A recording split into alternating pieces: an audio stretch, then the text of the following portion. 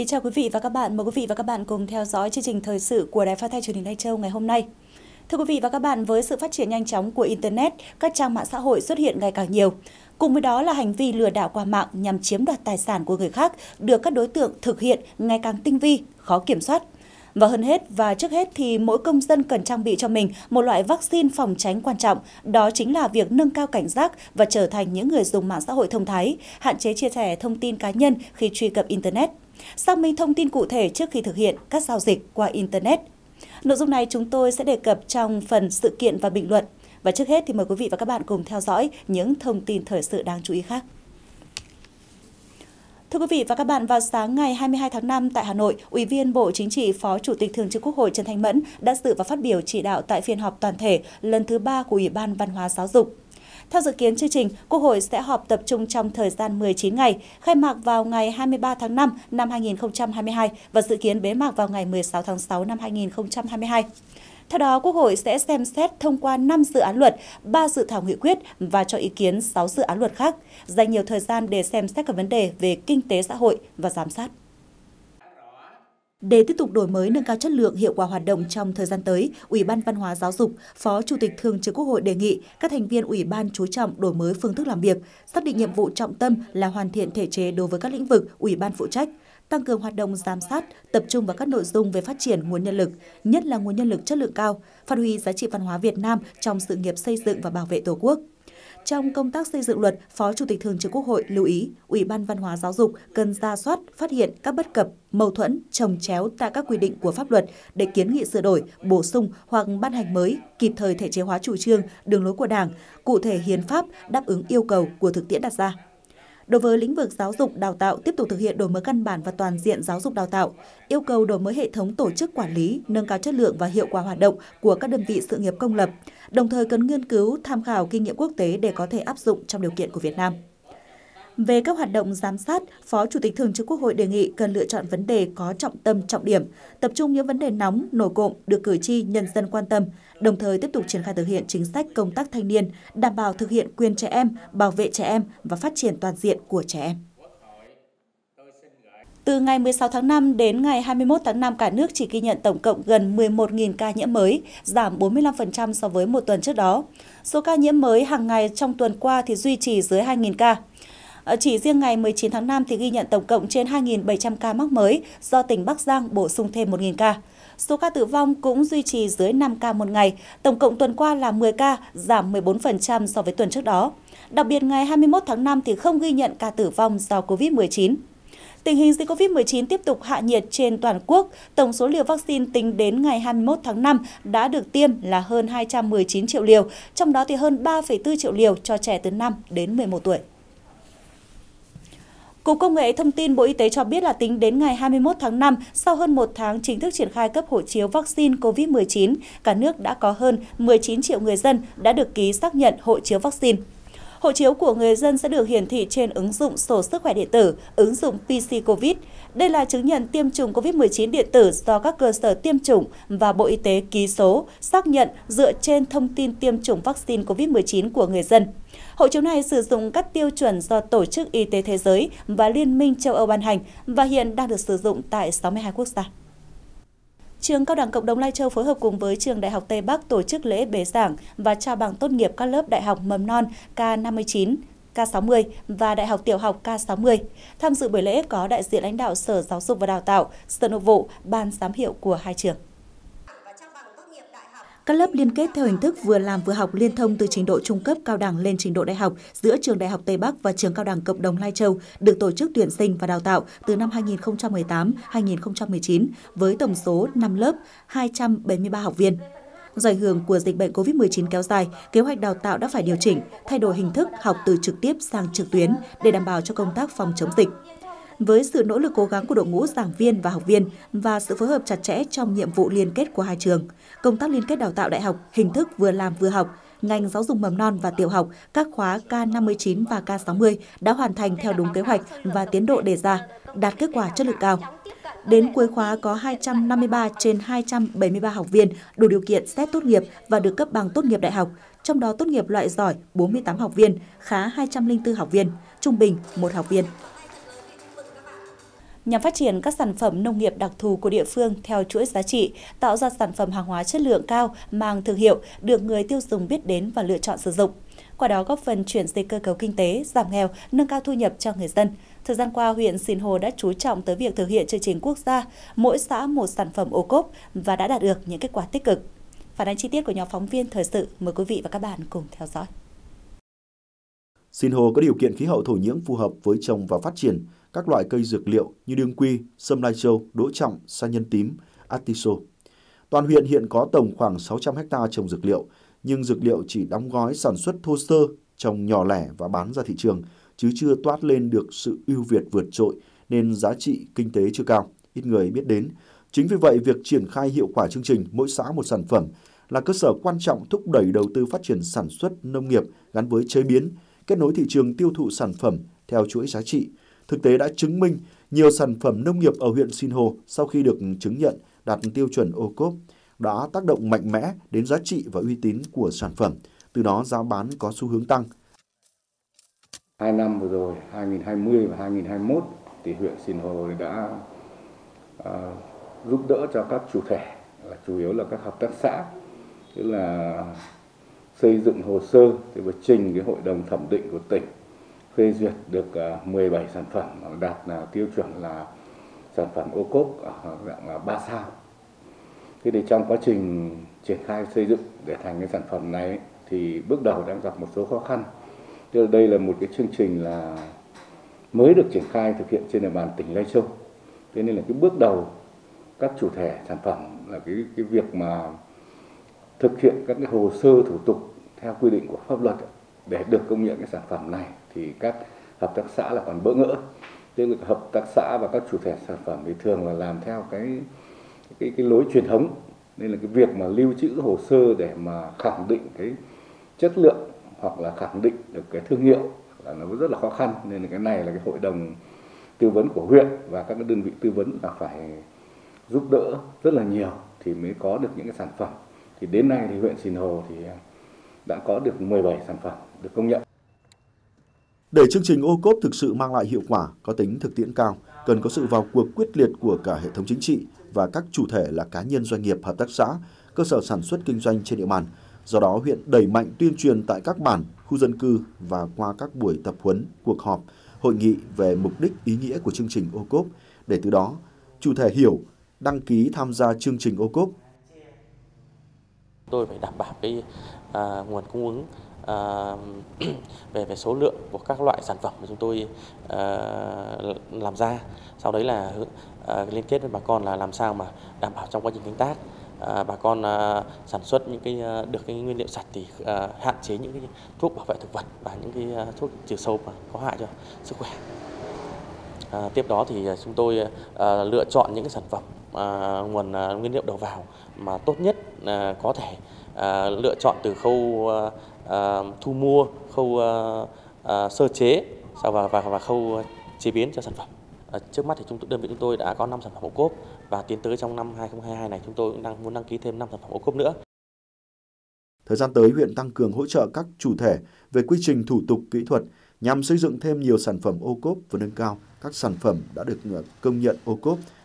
Quan tâm tạo điều kiện cho các chủ thể tham gia các hoạt động giao lưu giao thương với nhiều thị trường ngoài tỉnh, từ đó góp phần quảng bá, tiêu thụ sản phẩm, thúc đẩy kinh tế địa phương phát triển. Thưa quý vị và các bạn, trước diễn biến của thị trường xăng dầu, nhiên liệu trên cả nước có nhiều biến động. Thời gian qua, đội quản lý thị trường số 4 Cục Quản lý Thị trường tỉnh đã tăng cường việc quản lý, kiểm tra, giám sát chặt chẽ, ký cam kết chấp hành pháp luật tại các cửa hàng kinh doanh xăng dầu trên địa bàn của hai huyện là Phong Thổ và Sìn Hồ, đồng thời thông báo số điện thoại, đường dây nóng tiếp nhận thông tin phản ánh của người tiêu dùng. Bám sát chỉ đạo của Bộ Công Thương tại công điện số 517 về việc tăng cường kiểm tra xử lý vi phạm trong kinh doanh xăng dầu và chỉ đạo của Cục Quản lý Thị trường tỉnh về quản lý xăng dầu thời gian qua, đội quản lý thị trường số 4 đã tăng cường quản lý kiểm tra giám sát chặt chẽ các cửa hàng kinh doanh xăng dầu trên địa bàn hai huyện Phong Thổ, Sinh Hồ. Cùng với công tác quản lý địa bàn, giám sát chặt chẽ các cơ sở kinh doanh xăng dầu, đội quản lý thị trường số 4 đã tăng cường tuyên truyền và tổ chức cho các cơ sở kinh doanh xăng dầu ký cam kết bán hàng theo đúng giá niêm yết, đúng thời gian bán hàng, đã đăng ký với cơ quan chức năng có thẩm quyền, tuyệt đối không găm hàng gây khan hiếm nhằm bảo vệ quyền lợi người tiêu dùng. Nhờ làm tốt công tác kiểm tra giám sát mà từ đầu năm đến nay, các cửa hàng kinh doanh xăng dầu do đơn vị quản lý đều chấp hành tốt các quy định về giờ giấc bán xăng, niêm yết và đảm bảo an toàn phòng chống cháy nổ theo quy định. Chúng tôi kinh doanh cái mặt hàng ờ, xăng dầu tại ờ, khu vực ờ, Mường So, huyện Phong Thổ. Thì ờ, mặc dù là giá xăng dầu thời gian qua có rất nhiều cái biến động, nhưng mà ờ, phía chúng tôi cũng cơ bản đáp ứng đủ được cái điều kiện để cho bà con nhu cầu của bà con đi lại. Hai nữa là về cái giờ giấc bán hàng thì các cái chúng tôi cũng đảm bảo đủ theo cái giờ giấc đã đăng ký với sở công thương. Thế giá bán lẻ thì cũng hiện tại là đơn vị bán lẻ cho nên cũng chấp hành đầy đủ cái việc uh, điều chỉnh giá theo liên bộ công thương tài chính ở tại các cái thời điểm mà điều chỉnh giá. Hiện nay đội quản lý thị trường số 4 quản lý 19 cửa hàng xăng dầu thuộc hai huyện Phong Thổ và Sìn Hồ. Từ đầu năm đến nay, tình hình giá xăng dầu có nhiều biến động, do đó đội đã tích cực phối hợp với các cơ quan chuyên môn tại hai huyện Phong Thổ Sìn Hồ tăng cường kiểm tra giám sát các cửa hàng xăng dầu. Trong 4 tháng đầu năm, đội đã phối hợp kiểm tra giám sát được 62 lượt cửa hàng kinh doanh xăng dầu tại địa bàn đơn vị quản lý. Qua công tác kiểm tra giám sát thị trường và thực hiện các biện pháp nghiệp vụ mà từ đầu năm đến nay trên địa bàn hai huyện Phong Thổ và Sinh Hồ chưa phát hiện cơ sở kinh doanh xăng dầu nào có hành vi găm hàng, tạo khan hiếm nguồn hàng xăng dầu. Trước tình hình à, biến động của giá cả xăng dầu thì à, đội cũng đã tăng cường cái à, kiểm tra giám sát và ký cam kết đối với tất cả các cửa hàng trên địa bàn là về lĩnh vực là kiểm tra giám ký cam kết không tăng giá này và à, niêm yết à, đúng cái giá bán à, do bộ công thương quy định. Nên là thứ ba nữa là bây giờ thời gian niêm yết các cái trường hợp mà à, đội mà giám sát mà phát hiện các cái cửa hàng mà bán tăng giá này với cả thứ hai là cái niêm yết không đúng thời gian bán hàng thì đội cương quyết xử lý theo đúng quy định của pháp luật. Trong thời gian tới để tăng cường công tác quản lý nhà nước về kinh doanh xăng dầu, đội quản lý thị trường số 4 huyện Phong Thổ Sinh Hồ tiếp tục tăng cường công tác kiểm tra kiểm soát thị trường, tăng cường công tác tuyên truyền phổ biến các văn bản quy định liên quan đến kinh doanh mặt hàng xăng dầu cho các đơn vị kinh doanh xăng dầu cũng như người dân trên địa bàn. Cùng với đó niêm yết đường dây nóng tại tất cả các cửa hàng xăng dầu, qua đó góp phần đảm bảo việc cung ứng xăng dầu ổn định và bảo vệ quyền lợi của người tiêu dùng.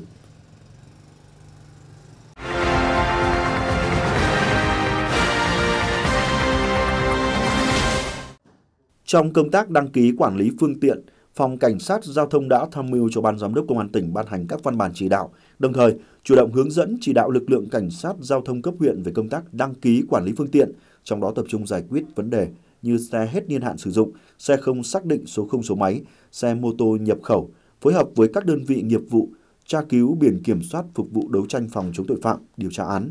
Trong tháng, toàn tỉnh đăng ký mới 84 xe ô tô, hơn 1.100 xe mô tô nâng tổng số phương tiện đang quản lý trong toàn tỉnh là trên 11.700 xe ô tô và trên 200.000 xe mô tô.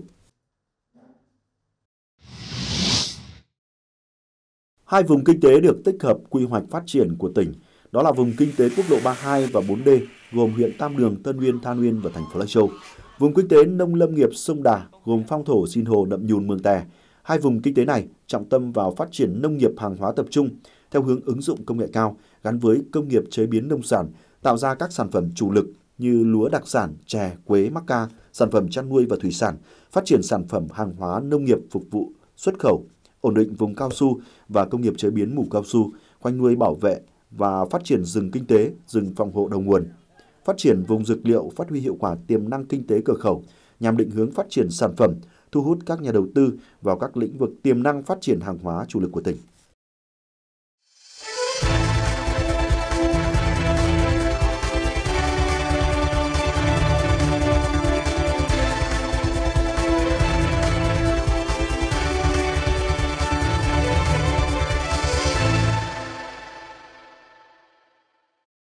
Vị và các bạn, trong thời gian qua, trên địa bàn của tỉnh Lai Châu đã xảy ra một số vụ lừa đảo chiếm đoạt tài sản qua mạng xã hội, gây hoang mang cho một số bộ phận cán bộ công chức, viên chức và nhân dân, ảnh hưởng xấu đến tình hình an ninh trật tự trên địa bàn. Và mới đây thì tại thông báo số 1371 của Công an tỉnh cho biết, các đối tượng thường gửi link qua ứng dụng Messenger để truy cập và các website có nội dung như là bình chọn sâu game ấn tượng, bình chọn ảnh đẹp hoặc là gắn thẻ người dùng vào một số bài viết chứa link độc hại có nội dung giật gân, tạo sự tò mò cho người dùng. Sau đó thì yêu cầu người dùng đăng nhập bằng tài khoản Facebook để tiến hành bình chọn hoặc là xem nội dung bài viết. Đề cập về vấn đề này, biên tập viên Vân Anh sẽ thông tin cụ thể qua phần trình bày ngay sau đây. Cảm ơn chị à, Ngọc Huyền.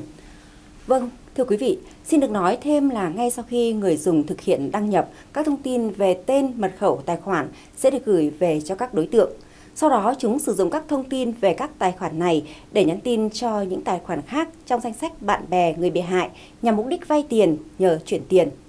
Mặc dù không phải là thủ đoạn mới và đang được các cơ quan công an tuyên truyền phổ biến, tuy nhiên vẫn có một số người dân mất cảnh giác cả tin dẫn đến trở thành người bị hại.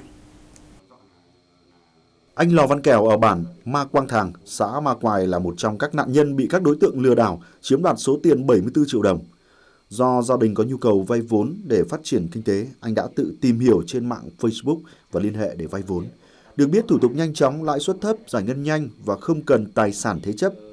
Sau vài giờ liên hệ và làm theo hướng dẫn của các đối tượng, số tiền trong tài khoản của anh đã bị chiếm đoạt. Do gia đình tôi cần một số vốn làm ăn, tình cờ tôi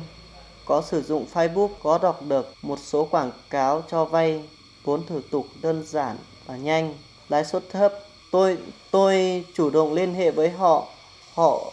yêu cầu tôi kết bạn Zalo và gửi thông tin cá nhân như cá nhân tôi như thẻ căn cước và thẻ ATM. Một một lúc sau họ làm hồ sơ xong họ gọi lại cho tôi gửi gửi má QR và yêu cầu tôi quét má QR này tôi đã thực hiện quét hai lần. Một lúc sau tôi đã phát hiện tài khoản ngân hàng của tôi đã bị trừ hết tiền. Tiền trong tài khoản của tôi là 74 triệu đồng.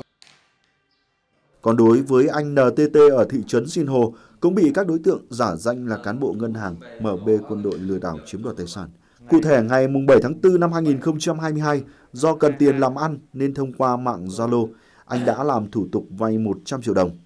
Anh đã làm theo hướng dẫn của đối tượng có tên là Nguyễn Văn Dũng. Người này đã yêu cầu anh cung cấp chữ ký, chứng minh thư nhân dân bằng lái xe, số điện thoại và tài khoản ATM. Và được thông báo yêu cầu anh chuyển số tiền 47 triệu đồng để làm các thủ tục giải ngân. Sau khi làm xong thủ tục ngân hàng sẽ giải ngân số tiền vay và chuyển trả lại số tiền anh đã chuyển, tổng cộng là 147 triệu đồng. Sau khi chuyển 47 triệu đồng để làm thủ tục giải ngân theo yêu cầu của người đàn ông, Đến nay, anh Tê vẫn không nhận được số tiền vay và số tiền đã chuyển nên đã trình báo công an. Ngày à, mùng 7 tháng 4 năm 22 có một người đàn ông gọi điện cho tôi và giới thiệu là cán bộ ngân hàng MB quân đội à, hỏi tôi là tôi có nhu cầu vay tiền hay không Tôi cũng trả lời là tôi có nhu cầu vay tiền.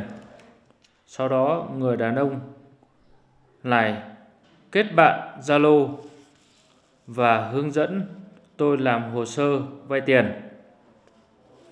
Vay số tiền là 100 triệu đồng. Để vay được số tiền này thì phải mất 47 triệu để làm hồ sơ trong thời gian gần đây trên địa bàn huyện Sinh Hồ đã xuất hiện tình hình tội phạm sử dụng công nghệ cao để lừa đảo chiếm đoạt tài sản, hầu hết qua không gian mạng. Cơ quan Cảnh sát điều tra Công an huyện Sinh Hồ đã tiếp nhận 6 tin báo tố giác về tội phạm của người dân với số tiền chiếm đoạt lên đến hơn 3 tỷ đồng. Qua công tác điều tra, chủ yếu là lừa đảo chiếm đoạt tài sản qua các hình thức như là tuyển cộng tác viên online, cho vay online, giả danh cán bộ cơ quan nhà nước để hướng dẫn làm các thủ tục để chiếm đoạt. Trong thời gian qua thì tội phạm lừa đảo chiếm đoạt tài sản ờ, mà lợi dụng không gian mạng ấy thì có diễn biến hết sức phức tạp. Ờ, công an huyện Sinh Hồ đã trong thời gian qua đã tiếp nhận 6 tin báo với ờ, cái số tiền lừa đảo đến lên đến trên 3 tỷ đồng. Để lừa đảo qua không gian mạng thì các đối tượng chủ yếu là dựa vào cái hình thức là, là cái thứ nhất là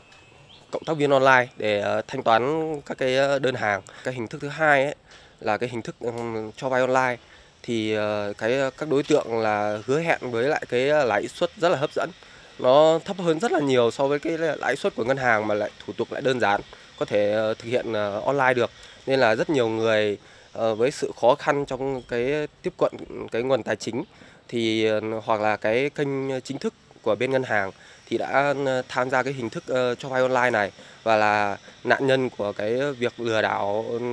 qua không gian mạng. Những sự việc này không chỉ xảy ra tại huyện Sìn Hồ mà trên địa bàn một số địa phương như huyện Tân Uyên, thành phố Lai Châu. Thời gian qua cũng đã có một số người dân đến cơ quan chức năng để trình báo vụ việc.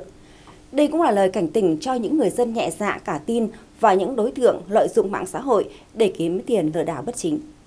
Vâng, thưa biên tập viên Vân Anh, vậy thì khi đã biết đã được tuyên truyền về những cái thủ thủ đoạn lừa đảo này rồi, vậy thì tại sao ờ, một số bộ phận người dân vẫn bị mắc bẫy lừa đảo này ạ? Đúng là hình thức lừa đảo này thì không mới và theo cơ quan chức năng thì do đặc tính của không gian mạng như là xuyên quốc gia này, ẩn danh và thủ đoạn lừa đảo của tội phạm này thì rất là tinh vi, gây khó khăn cho công tác truy tìm, điều tra của cơ quan chức năng. Dạ vâng. Vậy thì ngoài những cái khó khăn nêu trên thì lực lượng ờ, chức năng của tỉnh Lai Châu còn gặp phải những cái khó khăn nào nữa? Cơ quan chức năng khó phát hiện và giải quyết cũng một phần là do người bị hại rất là ngại khai báo và cùng với đó thì việc đối chiếu xác minh thông tin tại các cơ quan khác như là ngân hàng này, ờ, công ty viễn thông này cũng cần có thời gian nhất định và ảnh hưởng đến tiến độ xác minh, củng cố tài liệu để điều tra phá án. Và khi có thông tin về các đối tượng thì đã bị các đối tượng tẩu tán tài liệu chứng cứ phạm tội. Vâng, trước tình hình trên thì chính quyền các cấp, các ban ngành đoàn thể cần đẩy mạnh tuyên truyền giáo dục nhằm nâng cao ý thức phòng chống tội phạm và vi phạm pháp luật liên quan đến các hành vi lừa đảo chiếm đoạt tài sản bằng thủ đoạn lừa nhận biêu phẩm, quà tặng qua mạng xã hội.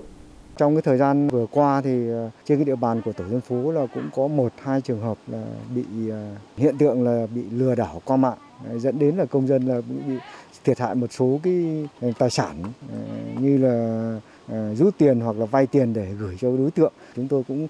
để thấy đây là một bài học để chúng tôi có cái dịp để ờ, ờ, thường xuyên là tuyên truyền cho các cái hộ dân để nâng cao cảnh giác, tránh bị các cái đối tượng lừa đảo qua mạng mất tiền thiệt hại đến tài sản rồi ảnh hưởng kinh tế rồi là tình cảm trong gia đình. Chúng tôi là cũng tuyên truyền sâu rộng các phương thức thủ đoạn hoạt động của cái đối tượng lừa đảo Ờ, chiếm đoạt ở trên ờ, không gian mạng.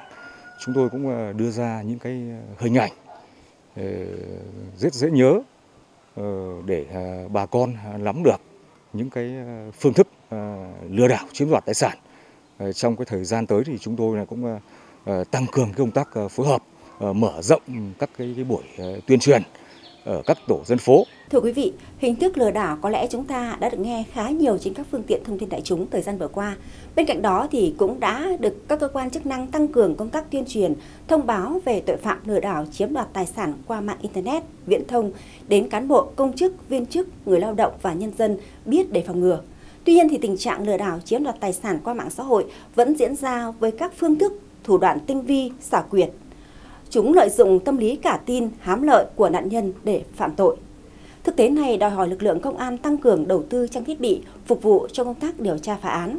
bồi dưỡng nâng cao năng lực nghiệp vụ đấu tranh cho cán bộ chiến sĩ và phối hợp tuyên truyền nâng cao ý thức phòng chống của người dân. Cơ quan công an khuyến cáo người dân thứ nhất phải chủ động nâng cao cái cảnh giác của bản thân. Đó. Thứ hai là phải chủ động tìm hiểu về các phương thức thủ đoạn của loại tội phạm này trên không gian mạng cũng như những các loại tội phạm khác chứ không riêng gì tội phạm lừa đảo chiếm đoạt tài sản. Thứ ba là không cung cấp các thông tin cá nhân của bản thân giống như là ờ, số chứng minh nhân dân này, rồi ờ, số điện thoại này, rồi số tài khoản này qua các ứng dụng ờ, không rõ nguồn gốc và khi giao dịch với các với đối với các giao dịch chuyển tiền ấy, đối với các giao dịch chuyển tiền thì cần phải lưu ý là không thực hiện giao dịch trên các ứng dụng không rõ nguồn gốc và nếu có sự thực hiện giao dịch thì phải có cái hướng dẫn của nhân viên ngân hàng hoặc là nhân viên tài chính. Bên cạnh đó thì không nên vay tiền qua các kênh không chính thống bởi vì những kênh này tiềm ẩn rất nhiều nguy cơ rủi ro. Và cuối cùng thì người dân nên tham gia tốt vào phong trào toàn dân bảo vệ an ninh Tổ quốc, tham gia phối hợp với cơ quan công an để đấu tranh phòng chống tội phạm. Với cái tình hình như vậy, cái chiêu bài như vậy thì cái ờ, đối với lực lượng công an thì là thứ nhất là cái phương thức là sẽ là thông báo là tuyên truyền qua cái loa phát thanh công cộng đấy là là là một cái thứ hai nữa là là phối hợp với ờ, các ban đoàn thể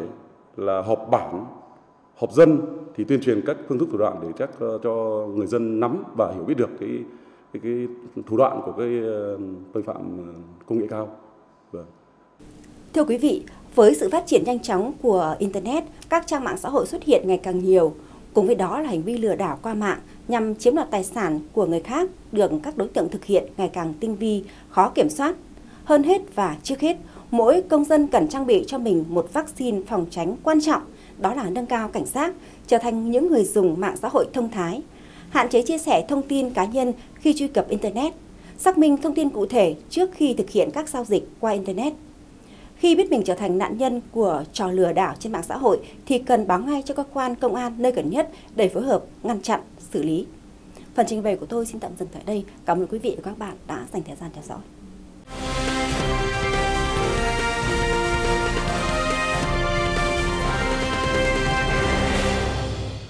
Mời quý vị và các bạn cùng điểm lại một số nội dung chính đã phát sóng trong ngày. Vào sáng ngày 22 tháng 5 tại Hà Nội, Ủy viên Bộ Chính trị, Phó Chủ tịch Thường trực Quốc hội Trần Anh Mẫn đã dự và phát biểu chỉ đạo tại phiên họp toàn thể lần thứ 3 của Ủy ban Văn hóa Giáo dục. Theo dự kiến, chương trình Quốc hội sẽ họp tập trung trong thời gian 19 ngày, khai mạc vào ngày 23 tháng 5 và dự kiến bế mạc vào ngày 16 tháng 6 năm 2022. Theo đó, thì Quốc hội sẽ xem xét thông qua 5 dự án luật, 3 dự thảo nghị quyết và cho ý kiến 6 dự án luật khác, dành nhiều thời gian để xem xét các vấn đề về kinh tế xã hội và giám sát. Để chương trình ô cốp thực sự mang lại hiệu quả có tính thực tiễn cao thì cần có sự vào cuộc quyết liệt của cả hệ thống chính trị và các chủ thể là cá nhân doanh nghiệp, hợp tác xã, cơ sở sản xuất kinh doanh trên địa bàn. Do đó, huyện Sinh Hồ đã đẩy mạnh việc tuyên truyền về mục đích ý nghĩa của chương trình ô cốp để từ đó chủ thể hiểu, đăng ký tham gia chương trình ô cốp. Thời gian tới, huyện đã tăng cường hỗ trợ các chủ thể về quy trình thủ tục kỹ thuật nhằm xây dựng thêm nhiều sản phẩm đạt ô cốp và nâng cao các sản phẩm đã được công nhận ô cốp. Quan tâm tạo điều kiện cho các chủ thể tham gia các hoạt động giao lưu, giao thương với nhiều thị trường ngoài tỉnh, từ đó góp phần quảng bá, tiêu thụ sản phẩm, thúc đẩy kinh tế địa phương phát triển. Hiện nay, đội quản lý thị trường số 4 quản lý 19 cửa hàng xăng dầu thuộc hai huyện là Phong Thổ và Sìn Hồ. Trong 4 tháng đầu năm, đội đã phối hợp kiểm tra giám sát được 62 lượt cửa hàng kinh doanh xăng dầu tại địa bàn đơn vị quản lý. Và trong thời gian tới, để tăng cường công tác quản lý nhà nước về kinh doanh xăng dầu, đội quản lý thị trường số 4 huyện Phong Thổ, Sìn Hồ tiếp tục tăng cường công tác kiểm tra kiểm soát thị trường, tăng cường công tác tuyên truyền, phổ biến các văn bản quy định liên quan đến kinh doanh mặt hàng xăng dầu cho các đơn vị kinh doanh xăng dầu cũng như là người dân trên địa bàn Cùng với đó thì niêm yết đường dây nóng tại tất cả các cửa hàng xăng dầu, qua đó góp phần đảm bảo việc cung ứng xăng dầu ổn định và bảo vệ quyền lợi của người tiêu dùng. Với sự phát triển nhanh chóng của Internet, các trang mạng xã hội xuất hiện ngày càng nhiều. Cùng với đó là hành vi lừa đảo qua mạng nhằm chiếm đoạt tài sản của người khác được các đối tượng thực hiện ngày càng tinh vi, khó kiểm soát. Và hơn hết và trước hết thì mỗi công dân cần trang bị cho mình một loại vaccine phòng tránh quan trọng. Đó chính là nâng cao cảnh giác, trở thành những người dùng mạng xã hội thông thái, hạn chế chia sẻ thông tin cá nhân khi truy cập Internet, xác minh thông tin cụ thể trước khi thực hiện các giao dịch qua Internet khi biết mình trở thành nạn nhân của trò lừa đảo trên mạng xã hội, thì cần báo ngay cho cơ quan công an nơi gần nhất để phối hợp ngăn chặn và xử lý kịp thời. Vừa rồi là một số nội dung chính đã phát sóng trong ngày. Cảm ơn quý vị và các bạn đã quan tâm theo dõi. Xin kính chào tạm biệt.